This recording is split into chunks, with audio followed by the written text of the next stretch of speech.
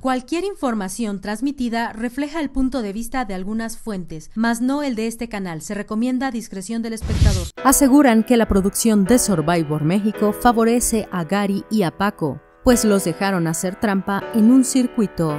Los fans del reality show de supervivencia creen que la producción favorece a las hienas por el rating que les da.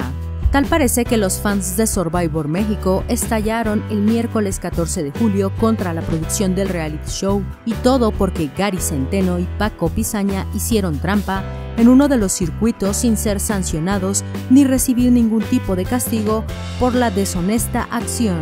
La actividad consistía en obtener la calavera, pero los integrantes debían estar completamente vendados, pues la prueba era hacerse del premio sin usar la vista. El problema es que mientras todos los integrantes usaron unos lentes para no mirar nada y encima una pañoleta, Gary y Paco se colocaron dichas gafas protectoras a la altura de la frente, con lo que invariablemente alcanzaban a ver detrás del pedazo de tela. Y aunque supuestamente la producción de Survivor México no se dio cuenta, los fans y usuarios de las redes sociales estallaron al ver cómo es que Centeno y Pizaña hacían trampa de manera tan descarada.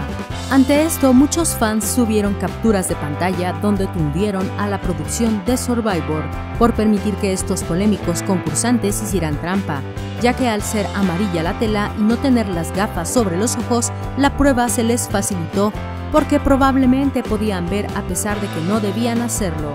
Lo que aumentó el enojo de los televidentes fue que finalmente la supuesta trampa por parte de estos integrantes terminó favoreciendo a Jaguares, pues al tener los ojos abiertos, encestar la pelota resultó mucho más fácil para ellos que para el equipo halcón. Cabe resaltar que este no es el primer descontento que despierta esta dupla de hienas, como se autonombraron, Hace un mes, Paco Pizaña y Gary Centeno desataron la polémica en redes sociales por su comportamiento dentro del programa. Anteriormente, la actitud de estos sobrevivientes ya había sido señalada como machista y cizañosa, además de que Gary protagonizó una discusión con Adrianés por unas frutas. Gary y Paco pertenecían originalmente a la tribu Halcón sin embargo, el pasado 4 de junio, el conductor del programa les anunció que serían cambiados a la tribu Jaguar, la cual está representada con color amarillo. Suscríbete a nuestro canal y te espero en el siguiente video.